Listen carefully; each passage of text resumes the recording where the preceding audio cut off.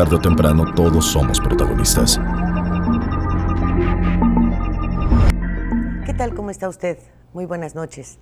Esta es una noche muy especial para nosotros, ¿verdad, Jorge González Durán? Una noche muy especial, una noche de nostalgia, una noche De añoranza. de añoranza, así es. Una noche de recuerdos. Sí. Rápido, que se va el tiempo. El Es- tiempo es una metáfora, yo creo, ¿no? Como la poesía es una metáfora, el tiempo dicen que no existe, pero lo sentimos. Pero todo. Todo, sí. Y en, en este tiempo, fíjate tú, ya transcurrió un año de que Jorge Saldaña pues dejó de estar frente a las cámaras. Porque presente en nuestra mente, en, en muchas de las actividades que hacemos, de nuestros comentarios, pues ahí está. ¿Verdad? está. Sí, hay personas que nunca, que nunca se van, así pasa el tiempo. Yo lo recuerdo aquí en este programa cuando... En esta a- misma mesa. En esta misma mesa, fíjate. Cuando fuimos a tomar café con él, y particularmente una tarde cuando lo invitaste a un lugar aquí cerca, eh, atrás del Hotel Plaza Caribe, a, una- a un restaurante al que ya no he regresado y no sé si existe o algún día existió, pero recu- recuerdo Una esa tarde- fondita más que Re- restaurante. Sí, así es. Recuerdo esa tarde, pues, eh, como si hubiera, como si hubiera sido ayer.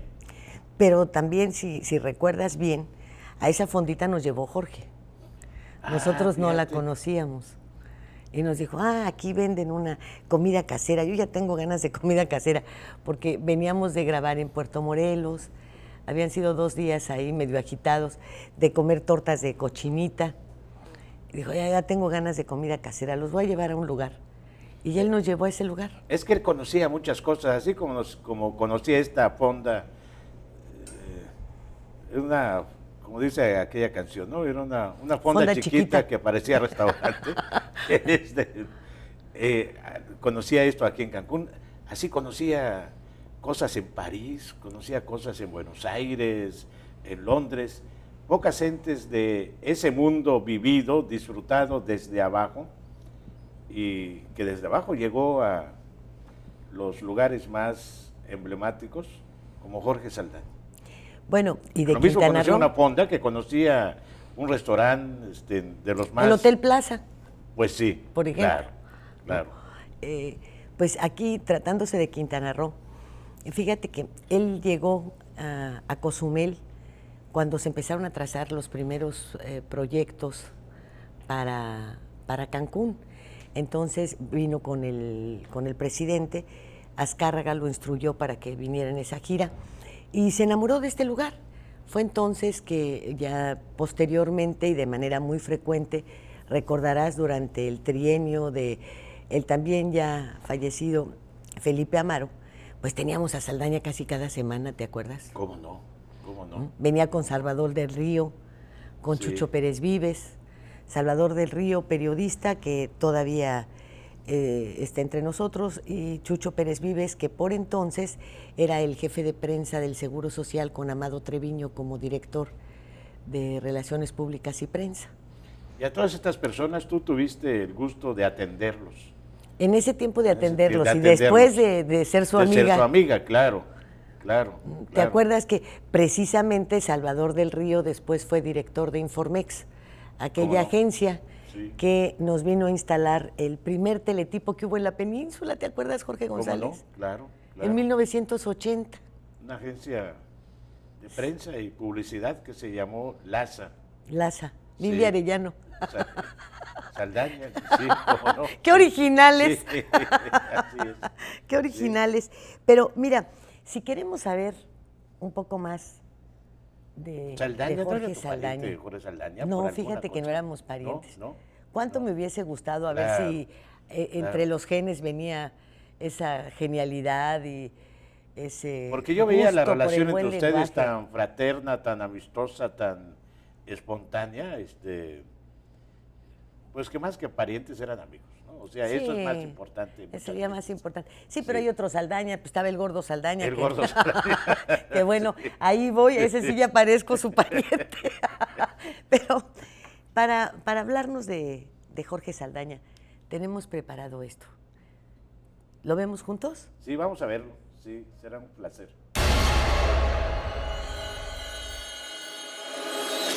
Jorge Isaac Saldaña Hernández nace en la ciudad de Jalapa el 5 de enero de 1931. Hijo único de Jorge Saldaña Pensado, quien se desempeña como tabaquero en la fábrica de puros La Perla, en la población de Banderilla, y de la maestra rural Dolores Hernández de Saldaña. La niñez de Jorge transcurre en la lluviosa Jalapa de entonces, cursando sus estudios primarios en la escuela Susana Fontana, pequeño colegio particular, y más tarde ingresa al Seminario Consular de Veracruz, en el que por cinco años cursa diferentes materias. Al darse cuenta que no tiene vocación para continuar en el seminario, ingresa al Colegio Clavijero para así concluir la secundaria y tiempo después termina su bachillerato en el Colegio Preparatorio de Jalapa.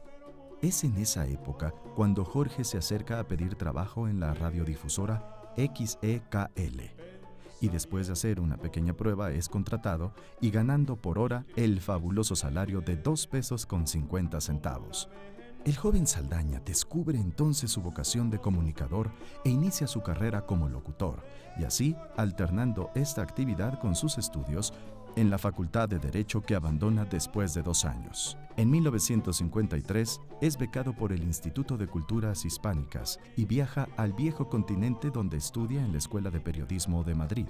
En 1954 regresa a su natal Jalapa, donde no consigue empleo, pero es apoyado por el entonces gobernador Marco Antonio Muñoz para regresar a Europa, viviendo en España y Francia. En París, Vive intensamente, canta en cafés y cabarets y empieza a escribir, incursionando además en la producción de radio y televisión.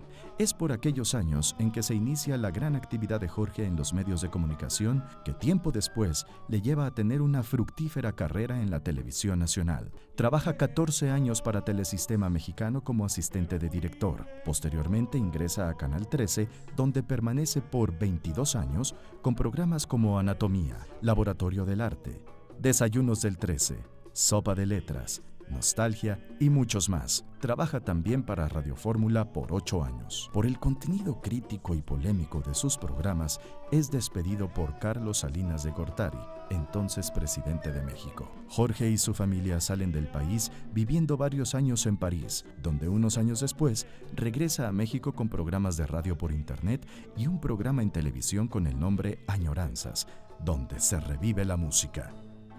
Jorge Saldaña tuvo tres hijas, Silvia, Georgina y Jimena, además de varios nietos. Bueno, y esto fue un breve recorrido por la, por la vida de Jorge Saldaña, que obviamente pues no tiene muy puntualmente grabados todos esos éxitos que, que lo llevaron a ser quien era, ¿no? ¿Quién es? Yo no diría que quién era, sino quién es. ¿Quién es? Así es. ¿Verdad? Todo un personaje en el, lenguaje, en el cuidado del lenguaje, en la aplicación de las letras, en, todos los órdenes, en las composiciones de las canciones, eh, chamba que hizo con Martínez Ross, ¿no? ¿Te acuerdas que nos platicaron? Así es, así es, en la Sociedad eh, Mexicana de Autores con Cantoral y Sociedad con todos General de Autores. Eh, Roberto eh, Cantoral, estaba al frente. Sí, bueno, en este, en este mundo de las letras, Jorge nos dejó muchas cosas, ¿no te parece? En la cultura, esta forma de poder eh, acercarnos a ella sin imposición, sino de una manera tan agradable, tan sana. Es el cuidado de las letras, la difusión de la cultura. Fíjate que yo recuerdo, me topo yo con personas de aquí, de Yucatán, de Campeche, de todos lados. Y le agradecen mucho a Jorge Saldaña la oportunidad que tuvieron de acercarse al arte, a la literatura, a la buena música. Son muchas las cosas invaluables que, que dejó, porque las hizo muy accesibles para toda clase de público, sin poses, sin grandielocuencias y un crítico feroz y al mismo tiempo fino, tanto de, letras de canciones como de poemas, de discursos de políticos, un hombre imprescindible que supo y tuvo el tino, la sensibilidad de llegarle al gran público. Usó este medio, el de la televisión, lo ennobleció, porque la televisión, hay que decirlo, no ha servido, a veces sirve no a las buenas causas, pero él utilizó esta herramienta para llevarle a la gente la difusión de la cultura, inclusive de las buenas maneras. De la conducción. Claro. De la conducción en todo momento. ¿Qué te parece si vamos a un corte comercial y enseguida volvemos? Sí.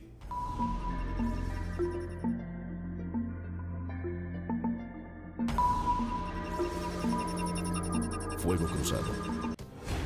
Las cosas que queremos. Los proyectos que empiezan. Las ilusiones concretadas necesitan una asesoría legal y una base concreta.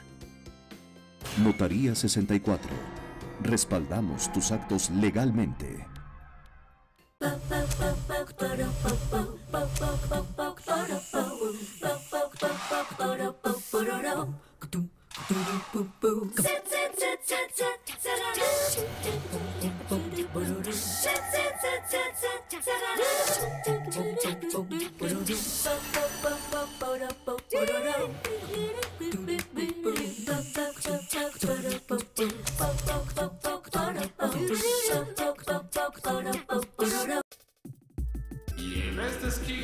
Entusiasmo, entrega, responsabilidad, apoyo al deporte y un gran compromiso informativo, porque los logros van de la mano con el servir a la gente. Que. Mare Publicidad. Lleva tu mensaje a donde está la audiencia. Tenemos la mejor opción para publicitar marcas, productos y servicios. Contamos con 200 pantallas de alta definición en unidades de transporte urbano, instaladas estratégicamente para que todos los pasajeros puedan ver nuestra programación. Recorremos las principales rutas del centro y zona hotelera de Cancún y Playa del Carmen, ofreciendo un formato dinámico que se actualiza cada 24 horas y garantiza más de 80.000 impactos diarios. Forma parte de la innovación en publicidad. Anúnciate con nosotros. Mare Publicidad. Comunicación de alto impacto en el momento y lugar correcto.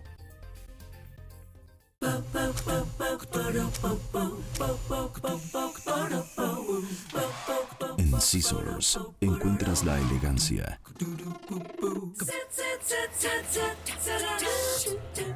el estilo, la moda y el glamour para que te veas espectacular. Scissors, Centro de Belleza y Alta Peluquería. Plaza Bonampak 45, Local 6, Cancún, Quintana Roo. Todo el poder de la noticia en tus manos. Macronews Móvil. Ahora en tu smartphone, noticias locales, nacionales e internacionales. Tu enlace a todos los medios de comunicación en Quintana Roo. macronews.com.mx.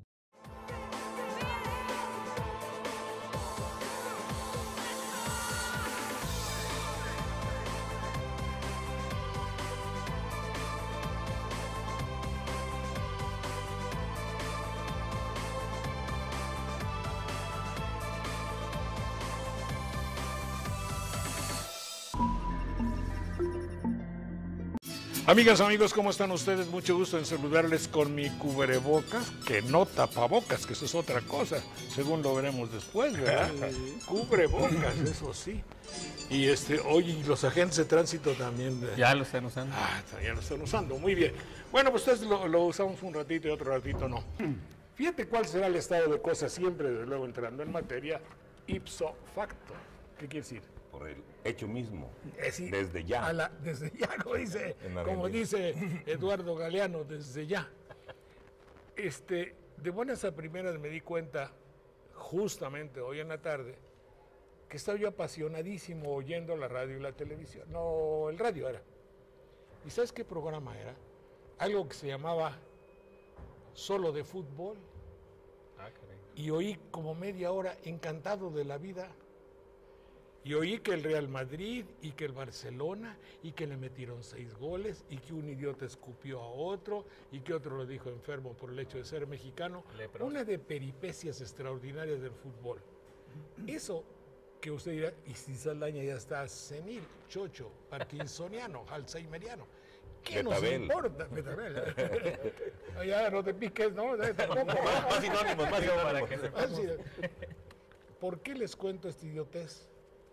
Porque cuando uno se satura de algo, la otra cosa le parece óptima. Claro, tenemos ¿Eh? una, una saturación acerca, que no es malo, porque debemos estar informados, La acerca saturación de esta fiebre, Omni, esta omni, espérate, espérate, espérate, no, no, no puedo faltar. Omni saturacio mala. Auti, autem perdicem pésima. Toda la saturación, aquí lo que nos sirve es la primera. Toda, saturación, es mala. mala. Y algo para los que para los que comen, pero la de los perdi- la de las perdices peor Peor. autem perdicem pésima. Esa es pésima. Pero toda saturación es mala. Esa parte del proverbio bien cabe en México. Tenemos una saturación de hipotética información que no nos conduce a nada y que bien por el contrario podría perjudicarnos. Es una por eso yo hoy en la tarde, cosa que nunca hago, se los juro por el señor obispo de mi tierra, nunca hago el hecho de oír media hora de fútbol y esta vez lo oí. Que ya en fútbol, de por sí, hay una terrible saturación en México. Aquí tratamos o tratamos de tratar, si así, si no es pleonasmo decirlo, lo veremos en Sopa de Letras, de decir cosas que no se dicen muy comúnmente. Creo, propongo, y ustedes lo habrán de examinar un poquito, si no los medios, llamémosles alternativos de comunicación, pueden hacer que todo cambie en el mundo. En buena parte se debió teléfonos celulares, internet, twitters, esa otra mugre que se llama Wolberry o como se llame, Blackberry. Blackberry o lo como se llame. Y bueno, esa es una. Otra, ¿qué sucedió, por ejemplo, el otro día? El otro día estaba en el programa de un servidor de ustedes de 10 a 11 de la mañana. Perfecto, llegamos a las 10.45 y no pasó nada. Entra una llamada y me dicen, este, Ska- Skype, Skype, ¿cómo se llama? Tui, tui, te habla, a ver, aquí está el aparato, a ver, oye, Jorge, que ya cayó Mubarak. No, hombre, pero ¿estás segura? No, lo está dando la televisión francesa, mi amiga de París. Me lo dijo antes que los co- co- colegas de la, estación que estaba ahí, yo, yo casi los regaño, digo, ¿cómo es posible? Pero imagínense ustedes el cambio tan fundamental de que una noticia, cuando sucede a los 15 o 20 minutos, la sepamos, no tiene chiste. Pero si la sepamos, sabemos en banderilla porque me llegó de París y por medios electrónicos nuevos, tiene una connotación diferente. Esto yo creo que es bastante importante porque eso nos, nos une de alguna manera, nos comunica y nos permite, eh, con un aparatito que traigamos en la bolsa Claro. o bajo el brazo, ponernos en contacto en el resto del mundo. Ahora, en el caso tan sonado de Carmen Aristegui, pues eh, eh, na- no es oculto y ya todo el mundo lo sabe. Bueno, todos los que han oído mi programa, y así por aquí que yo tengo experiencia en la materia, me han despedido unas 18 veces de diferentes estaciones. Y no por grosería o por llegar borracho, por mentarle la madre al director, no, no, no, por lo que se dice. Y entonces me llegó un comunicado de Argentina. Eh, hoy, hoy Saldaña, pues nosotros sabemos que tú también has pasado, ¿qué opinión tienes? Ya les di la opinión y todo eso para su estación de radio y para su periódico electrónico. Cuando se hace de gobierno, te- te voy a leer unas dos o tres para que dice, está bien, a- es que todas vienen a cuento y fregada. Te voy a decir esta, mira, pero hoy, oíle bien, óiganle bien para ver si logramos de- desentrañar el sentido. Eh, Boni Pastoris es tondere pecus, non de glubere. Es decir, el buen, pastor, eh, corta la lana del ganado. Tusa. Tóndere, sí, tóndere, sí. corta, o tusa, como tú dirías. O, o no, no, hay, hay otro verbo, es este... Tóndere. eh, No, eh, eh, sí, no, Esquilar. esquila. Esquila. Esquila. Ah, bueno, esquilar. Aquí dice esquilar, además, pero eh, como es poco usado. Bueno, el buen pastor corta el pelo, la lana del ganado. No, no lo de, no lo desolla. Eh. Sí, no le quita la piel. Sí, e- es, es como decir no matar a la gallina de los Huevos de oro es el equivalente Sí. en, en dicho, pero ya saben que en Sí, latín se en, decía en- así. en- en una versión pueblerina decimos, a las ovejas hay que esquilarlas, no degollarlas. No degollarlas, Sí, claro, claro, claro. Ese es el, el dicho. Otra, corruptísima república, plurime leyes. Sí, Muchas leyes. donde abundan las la leyes, corrupción. La ¿eh? república se ha corrompido. sí. Los estados más corruptos son los que más leyes tienen. Lo dijo Tácito. Sigo en lo mismo. Infancia es destino. Fíjense ustedes si no, lo dijo ese pensador de allá de España y sigue siendo válido yo lo confirmo.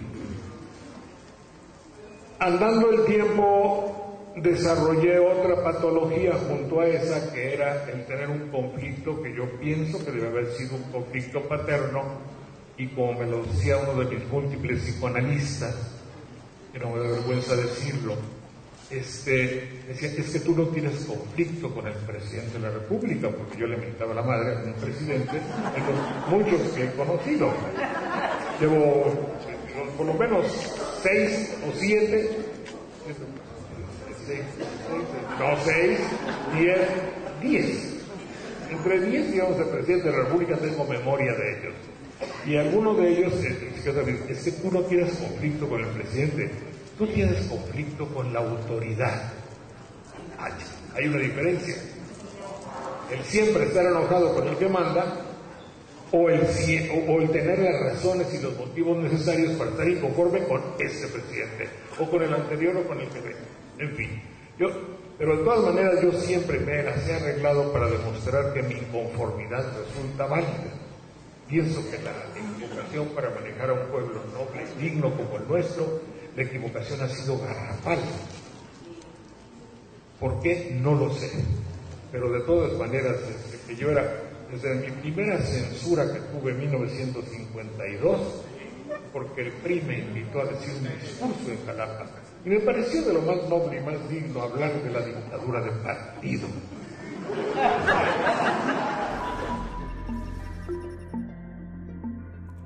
Pues uno de los renglones que conformaron la personalidad de Saldaña fueron sus críticas al sistema, porque estas críticas al sistema, bueno, pues son el causante o las causantes de que hubiese sido despedido, como él mismo lo, lo reconocía, de varios medios de comunicación, de la televisión, tanto de la privada como después del oficial, que volvió a ser privada, del radio, eh, hasta llegar a, fíjate tú, a unos extremos de intransigencia tales que cuando nos vamos a comer y me comenta el calvario que tenía en ese momento después de haber salido de la, de la OEM, de la Organización Editorial Mexicana, en su, en su, eh, en su renglón radio, ¿no? después de 17, 18 años de estar ahí. Me dice, no, no vas a creer lo que te voy a contar, pero ni pagado me dan un espacio. Le dije, eso no puede ser, no te lo estoy diciendo, ni que lo pague. O sea, las, las radiodifusoras deben tener el- ya la instrucción estricta de, de hasta con Saldaña, nada. Digo, bueno, eso no solamente me parece injusto, sino absurdo, carente de, de lógica, de sensibilidad, de, de todo, ¿no? De, de- respeto al derecho de expresarse de todos. Y bueno, un poco, como tú dices, este, bailando en ese filo de la navaja que según mencionas me encanta estar, le dije, este, vente con nosotros a 6.20. A eso voy a, yo voy a comentar. Cuando todo el mundo le cerró las puertas, cuando le era difícil abrirlas a pesar de su innegable talento y de que mucha gente lo quería escuchar. Fue uno de tus colaboradores Así en Radio es. 620, el programa que tienes desde la Ciudad de México. Y en esa, en esa ocasión recuerdo que me dijo, "Te- yo te agradezco mucho, Linda, te lo agradezco en el alma, no sabes, estoy a punto de llorar, pero, pero no, no te quiero perjudicar. Y le dije, ¿qué es lo, más que puede pasar, Jorge? Pues que salgamos juntos. A mí no me han corrido de ningún lado, pero pues será la primera vez, siempre hay una primera vez. Vamos a empezar un solo día y vamos a ver qué pasa. Podría decirte que el mérito sí, a lo mejor podría pensarse que es muy mío. No, mucho tuvieron que ver los señores Laris, los Ah, dueños de la bien. televisora, por- de la televisora, de la radiodifusora, porque teniendo su cadena de más de 90 radiodifusoras en el país, pues llegó Saldaña un lunes y no hubo nada, y fueron dos lunes y tres lunes, y entonces, ¿qué te parece lunes y miércoles? Bueno, me parece muy bien. Y bueno, ¿qué te parece lunes, miércoles y martes y el día que tú quieras? Y, y bueno, no hubo tampoco de parte de ellos jamás, jamás una, Una una observación. observación, un algo, no. Hay que reconocer eso, ¿eh? Claro. Muy digno de reconocimiento de estos empresarios de la radiodifusión. Claro. Los señores Lares. Claro, en todo momento Son una excepción, además. ¿eh? fueron, sí, como lo han sido, pues para dejarme de- Claro, para que a- a estés tú allá, mí. hombre. Claro. Porque otra de las cosas que mencionaba Jorge, eh, de repente fuera de, de micrófonos, me decía, oye, a mí por la mitad de lo que tú dices me han corrido. ¿no? Él decía, la situación es la siguiente, yo lo digo de, con un lenguaje al que están acostumbrados los políticos. Y, y luego pues, se defienden diciendo, ah, es que me critican porque estamos en época electoral. Ah, es que me critican porque sirve a mis enemigos políticos. O sea, yo, pero tú lo dices con tal conocimiento del lenguaje que entonces los hace sentirse ignorantes y, y- y menos que, eh, que nada. Entonces eso sí les duele en el alma. Y ahí es en dónde. Claro, lo decía con esta propiedad para expresarse, con esta su gran capacidad y riqueza verbal, que quizás los políticos no lo lograban entender a, cab- a cabalidad, pero la gente sí. La gente no solamente era una crítica mordaz, con un sentido del humor tan fino, muy mexicano diría yo. Mira, decía, en México el poder embellece al presidente y por lo regular arruina a la primera dama. Pues me parece que, que hemos tenido algunos ejemplos, ¿no? Y juntos se arruinan al país. Y bueno, muy acorde con la situación actual, dice, cultiva la amistad del candidato triunfador y olvida y niega tu relación con el derrotado. Es la ley. ¿O no es así? Así es. En la administración pública no te enfrentes a un enemigo, sacrifícalo. Eso está más fácil. Es muy fácil convertir un problema pequeño en grande. No olvides que un hombre de poder solo resuelve los grandes problemas. Bueno, frente a eso, ¿qué vamos a hacer? Pero son, son críticas constructivas. No, que, sí, que claro. deberían de, de haberlos llevado en todo momento a reflexionar. Sí, son reflexiones. Y sí hicieron reflexionar a mucha gente, menos a nuestros políticos, que esos no están acostumbrados ni a ese lenguaje, ni a reflexionar tampoco. Pero pegó, por llamarlo así, este tipo de reflexiones en muchas personas, de tal manera que estos pensamientos, mucha gente los utiliza sin saber que los dijo Jorge Saldaña, pero los escucharon en la radio, en la televisión.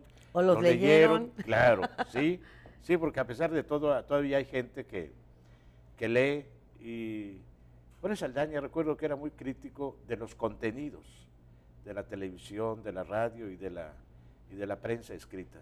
Y ahora lo vamos a ver, ¿qué te parece? En sus presentaciones en el Teatro Esperanza Iris, con la modificación para hacer la política de letras de canciones muy mexicanas, de autores muy mexicanos y conocidas por todos nosotros.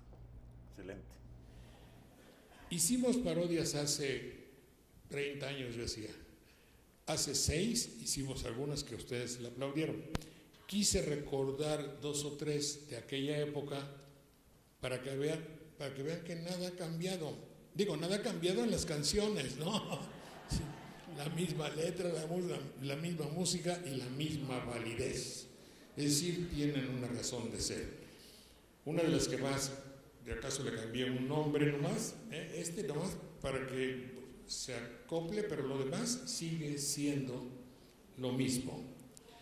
Adelante pues con Pompas Ricas dedicado a la situación económica mundial y obviamente mexicana. Adelante maestros y maestritas.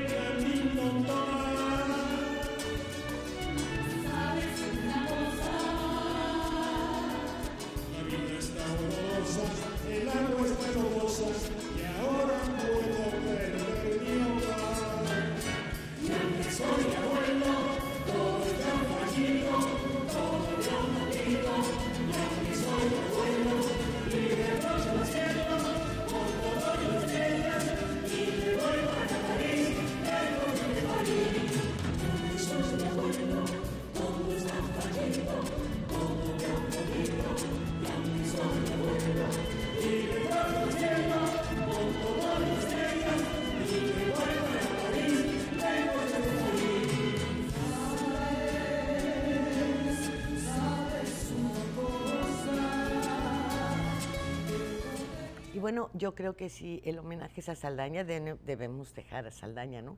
Pues Nosotros sí, tenemos sí. nuestras anécdotas con él y las llevaremos grabadas en nuestra mente, en nuestro corazón, pues todo el tiempo que el cerebro nos funcione, ¿no? Y nos funcione bien. Así es. ¿Verdad? Porque Saldaña se queda, ¿no? Saldaña se queda. Claro. Eso sí ya. Ya, sin Ahí sí ya no hay vuelta de hoja. Y para esto, pues, ¿qué te parece si lo, si lo vemos, lo disfrutamos con su estilo muy propio de cantar, con su música, con sus grupos, con sus programas, que pues a mí me llevan al recuerdo permanente de mis abuelos tomados de la mano con 70 años de matrimonio, viendo nostalgia. Hombre, qué imagen. Las canciones de estos tríos en aquella época invadían el mundo. Es decir, todo país donde se hablase el español, evidentemente que había el concepto del trío mexicano, fue un concepto que viajó a todo el mundo. Era verdaderamente una carta turística. Todavía hace algunos años yo tenía que estar mandándole a un coleccionista de España, ya había internet y esas cosas, y a ver, infórmame, dime qué pasó con tal trío de aficionados profundos al concepto del trío mexicano, que no existía en, en- en España en aquella 1950, no había tríos de música romántica, ni mucho menos, pero fue, fue un, pro- no me gusta llamarle producto, fue una manifestación artística nacida de la gran clas- clase media mexicana. Flor de Azalia fue una de las canciones más bellas y más exitosas de los Panchos y Amor, ya no me quieras tanto. Adelante.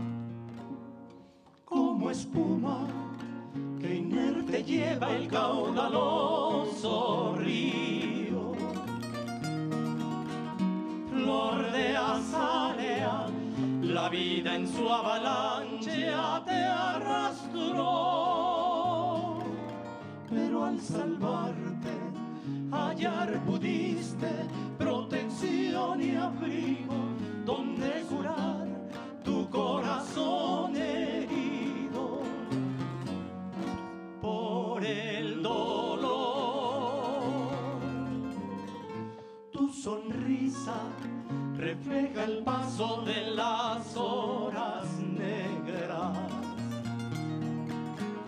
Tu mirada, la más amarga desesperación hoy para siempre quiero que olvides tus pasadas penas y que tan solo tenga hora corazón. Quisiera ser la golondrina que al amanecer a tu ventana llega para ver a través del cristal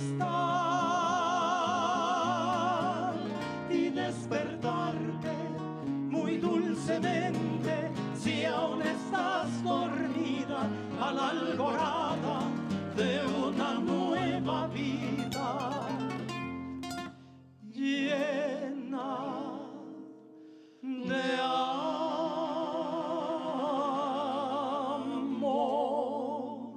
Bien, bien, espérate, espérate. En tríos, en tríos, en tríos, ustedes también tendrán que reconocer en áreas históricas de la música popular este, mi recuerdo infantil que dejaba yo el biberón para oír el radio y hacer así, el trío Garnica Asensio. Ah, bueno, estás hablando. Los, eh, yo no sé si los daría, no, el trío, ¿cómo? ¿Eh? Los calaveras. Los Calaveras, qué barbaridad. El Guayacán, El trío Guayacán. Tariacuri. Y los Tariacuri ¿verdad? son, son de aquella época. Pero el Garnica, ahí sí. Eran tríos nacidos del folclore o de la cinematografía. El trío Garnica Asensio del folclore, toda la música yucateca, ¿eh? nació como un sentimiento estrictamente popular. Mis queridos tíos, con todo el respeto que me merecen, son de zapato muy bien boleado, de corbatita, de un saco raído lleno de caspa, negro, pelo grande, de banqueta. Era el corazón de la clase media mexicana, Sí, los tríos.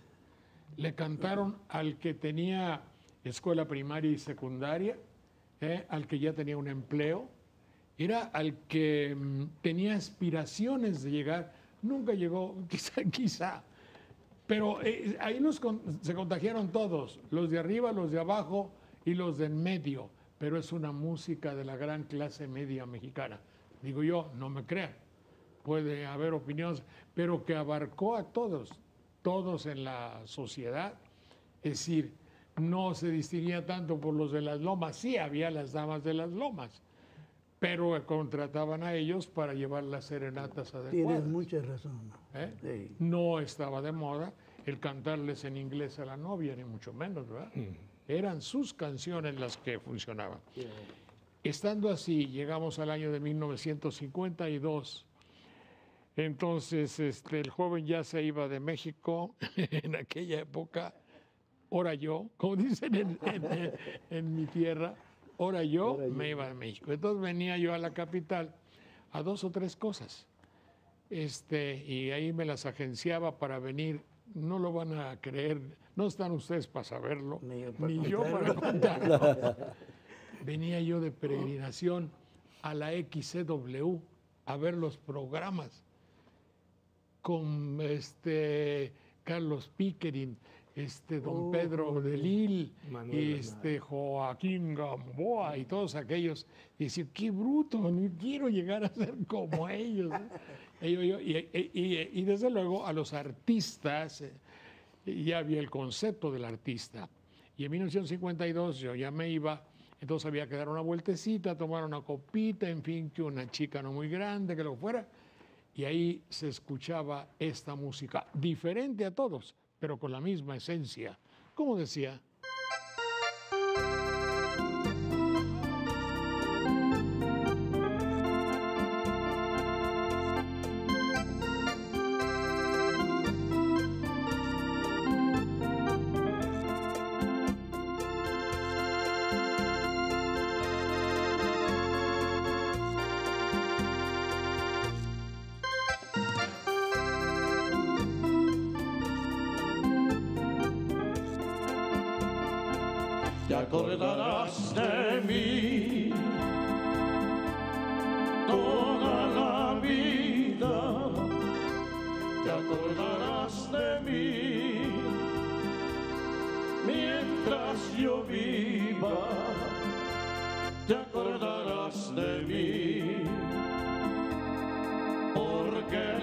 vida la sentencia de amor la sentencia de amor nunca se olvida.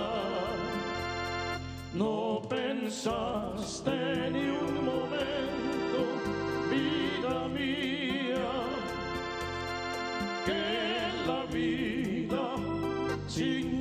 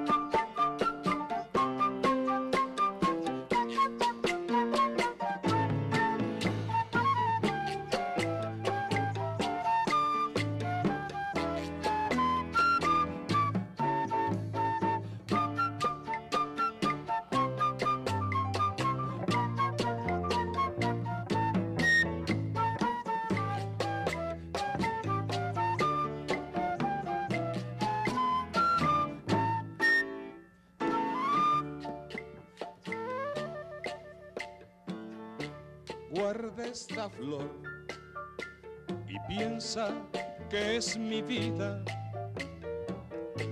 y que te adoro con amor ardiente. Guárdala bien y piensa que en mi mente no cabe nadie, no cabe nadie si te adoro a ti.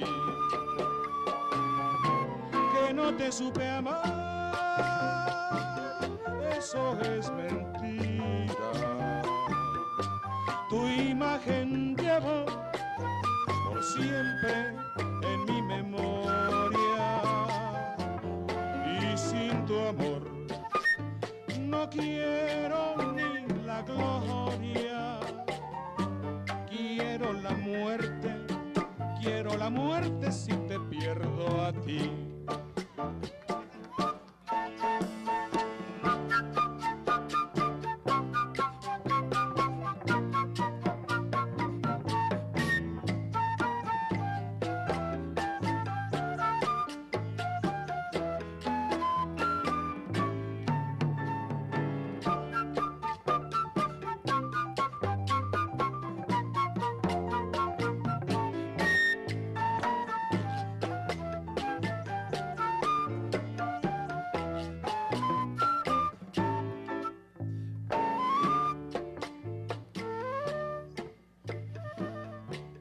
Guarda esta flor y piensa que es mi vida y que te adoro con amor ardiente. Guárdala bien y piensa que en mi mente no cabe nadie, no cabe nadie. Tú tienes el libro, pero yo quisiera que si es posible usted busque la manera de, conseguirlo. Se llama porjoder.com y se va a encontrar unas frases que le prometo que lo van a hacer pensar a mañana, tarde y noche. Está escrito por Jorge Saldaña y es otro más de los legados que hizo favor de dejarnos. Y ahora, ¿qué te parece si nos vamos con los santos difuntos y este programa oración que hizo don Jorge? Ah, magnífico, ¿Te muy parece? bien, qué excelente.